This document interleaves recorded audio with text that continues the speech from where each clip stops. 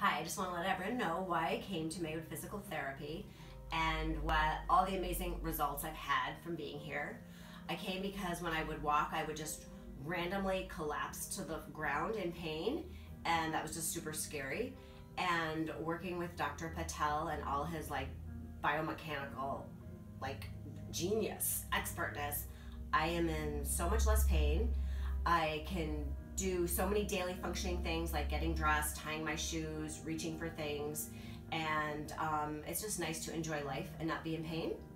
And the bonus part of it all is that he's taught me so many awesome exercises that I have like a whole new exercise routine, and I just feel really good when I do it. And um, I'm motivated to do it because they're new exercises that really have results. Um, so yeah, come here. It's great.